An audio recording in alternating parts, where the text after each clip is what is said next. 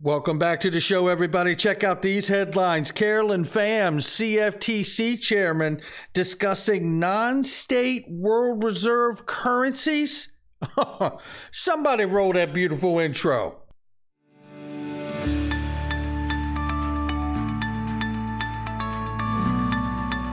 Digital Perspectives with Brad Kimes. Come on in.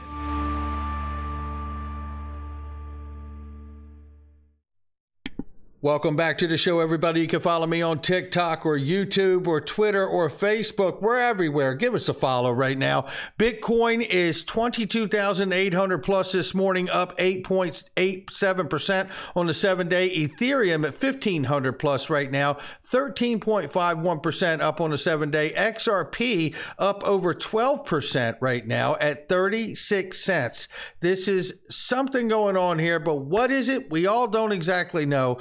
It's August 2nd, 2022. Good afternoon, everybody. Take a look at what we have for you, ranging on price very quickly here. It's 37 on the bottom, 39 on the top. We'll keep an eye on it. I want to tell you right now, you know, this is an incredible article. I'm not going to read the whole thing to you here, but this is the gist of it right here. Mario and Echo here. I've caught the Bank of England red handed fudging the inflation data.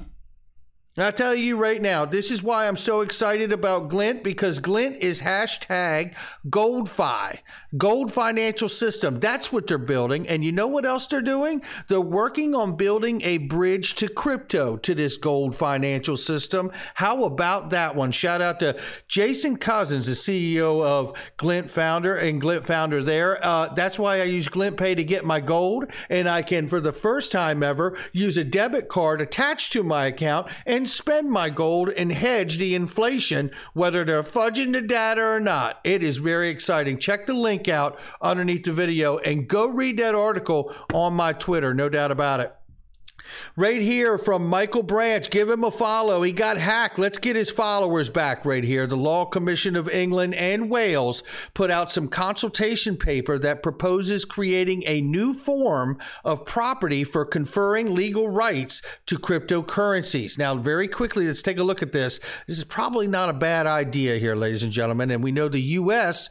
pays very close attention what's happening in the U.K. So look at this. The Law Commission of England and Wales published a consultation paper on crypto market talking about several aspects of the asset class. It says here it formed uh, re- focused on reforming laws with respect to certain digital assets as objects of property rights.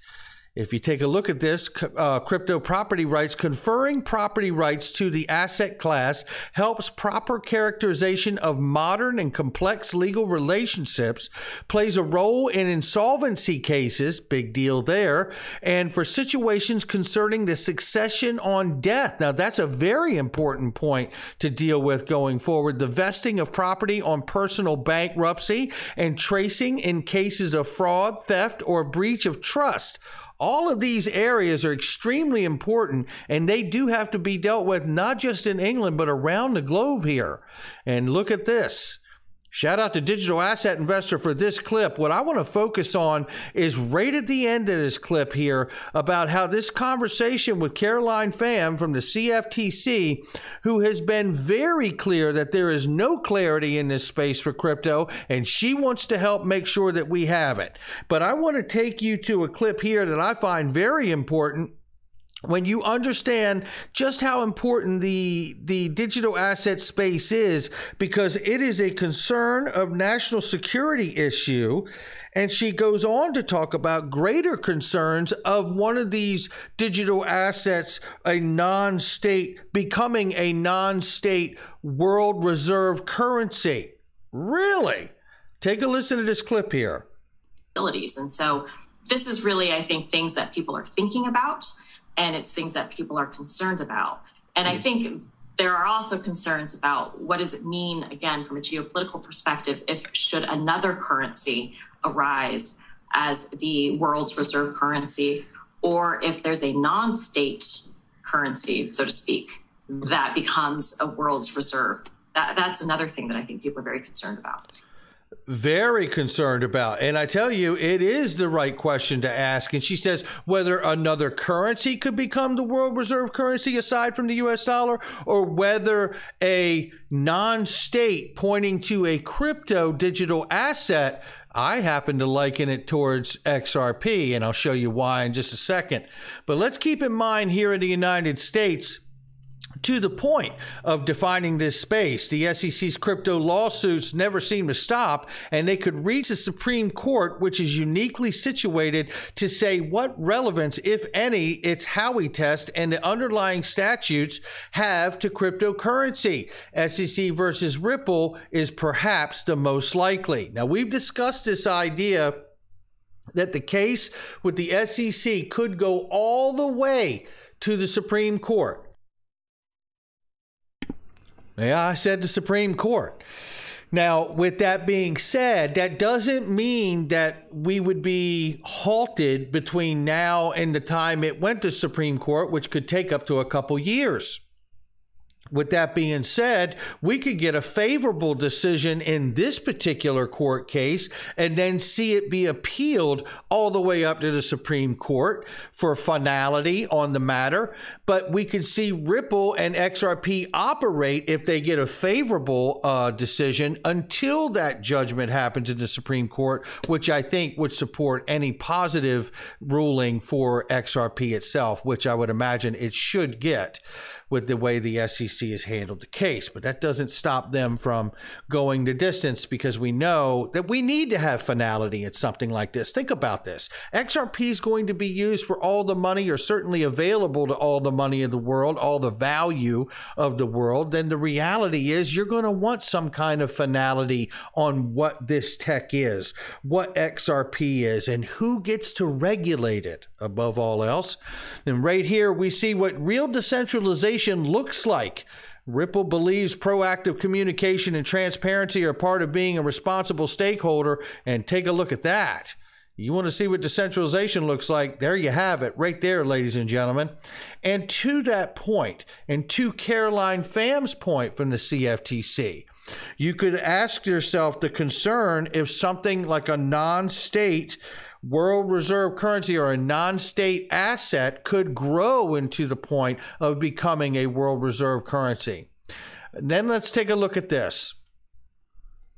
The real use cases for Ripple and XRP. Anders asked here, he said, could Ripple and Swift potentially work together? Well, let's take a listen to this clip very quickly. Now, there are edits in this that have some dead spots and it jumps back in. He's looping things, but it is necessary to catch the sections that Anders has set up here. Take a quick listen. Provide. Gottfried, why not use Ripple's technology to do that? Great question. Because, well, we'll have to see. I, I think what we are seeing, uh, um, we, we'll have to see. We'll have to see. I, yeah, before you were working at Swift, which is yeah kind of competitor to uh, Ripple. So it's uh, I, I have the impression both Swift and Ripple are not quite sure whether to be competitors and to wall off, or rather collaborate and build something together. Be competitors and to wall off, or rather collaborate and build something together. I personally think that um, um, the, the Ripple and Swift are doing different things. Ripple and Swift are doing different things. Uh, it's true that at the end we are talking about transferring value, but um, Swift is a messaging mechanism. Mm. Of course, it's widely present with the large users, but it remains only to the exchange of data. Uh, but when you get to the blockchain and what Ripple is doing, you are going beyond that ex exchange of data. You are actually settling value. You are providing the finality and certainty of the payment. So I think it could be very much complementary. So I think it could be very much complementary. Now, uh, probably the, you know, it takes time before the business lines can, can meet each other. You know, it takes time before the business lines can, can meet each other. But if we look at this, Swift equals payments messaging, RippleNet equals payments messaging settlement, settlement equals XRP. And then we see here Marjan Delatinne, who was just speaking, Ripple, and we know that she formerly used to work at Swift and Swift GPI. And Joel Katz said here, if Swift wants to fix payments for us, that's great. It's one less thing we have to do. Then we also have a clip also that he's going to show us next on this coming up here, which is this. If Swift wants to fix payments for us, that's great. It's one less thing we have to do. David Schwartz.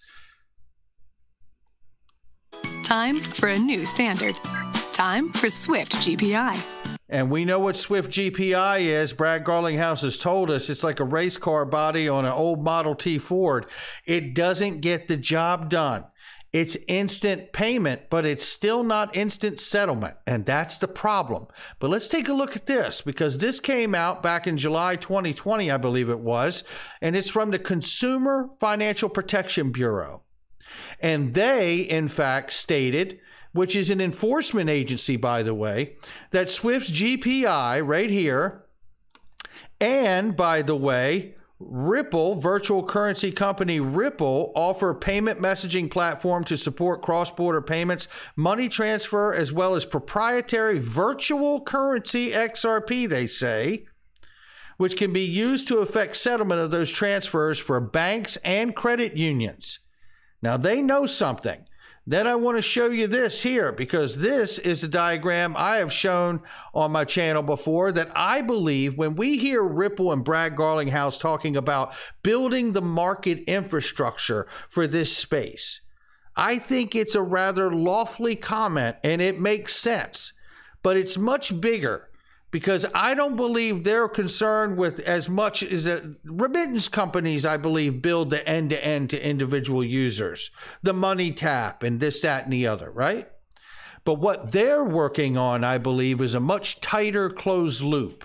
I believe RippleNet, in fact, is the new digital arm for Swift, whether Swift wants to realize that yet or know it. And I also believe that PolySign can serve because they're digitizing the entire capitals market. PolySign can serve as a digital side for the DTCC, I believe. My speculation, my digital perspectives, not financial advice. And the question left is is will Ripple become a central back, bank to be a backstop for the Federal Reserve? And will XRP's escrow become more value than we could ever imagine? And as I asked a second ago, what is XRP? I believe it's money. And I believe that's what this case is about, especially when you factor in the Reves test, because the Howey test, as far as I'm concerned, is busted.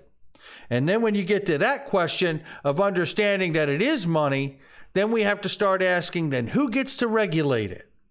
We know that the CFTC has said clearly that the BTC and the Ethereum are commodities and they believe that they should regulate half of the market. Well, if you're looking at market cap as the metric, half of the market is these two tokens. You look at the jurisdictional land grab that the SEC and Gary Gensler are currently in route to accomplish here then 90% of the rest of the tokens will become digital asset securities and more than likely be treated like a penny stock market with digital tokens.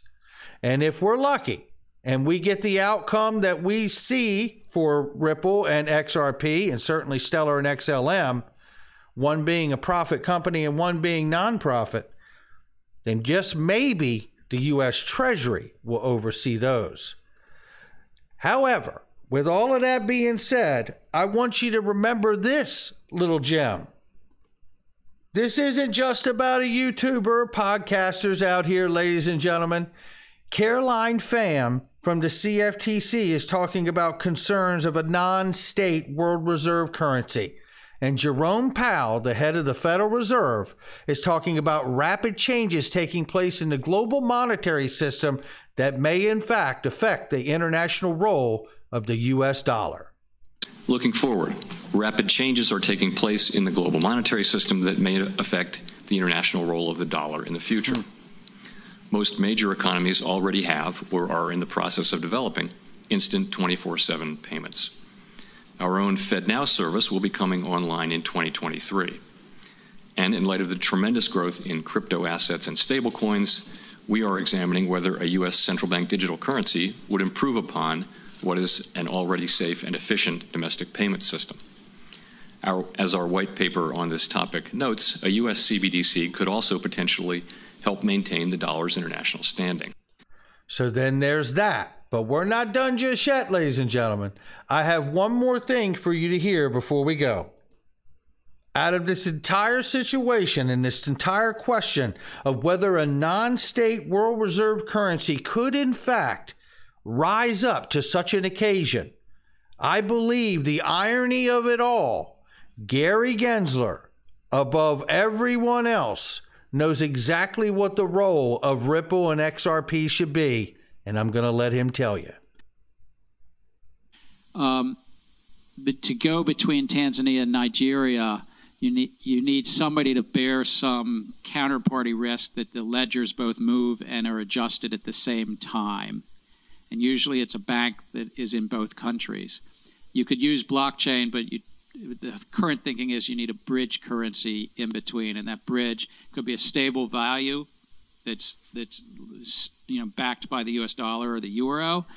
It could be a currency then like uh, Ripple has an alternative. It's just piloted in May, so it's it's not yet up in any enterprise-wide level. You could use blockchain, but you the current thinking is you need a bridge currency in between, and that bridge could be a stable value mm. bridge currency in between, and that bridge could be a stable value. Mm-hmm. The current thinking is you need a bridge currency in between, and that bridge could be a stable value. You mean like the stable coin XRP that is cited in the World Bank document that we went over yesterday, Gary? I find it really, really ironic that Gary Gensler knows exactly what Ripple and XRP are, but yet we're being sued anyway. And maybe, just maybe, that weaponized case turns out to be a slingshot for XRP Clarity to lead this space. That's going to do it for me. Not financial advice from me or anyone else. It's just my digital perspectives. I'll catch all of you on the next one.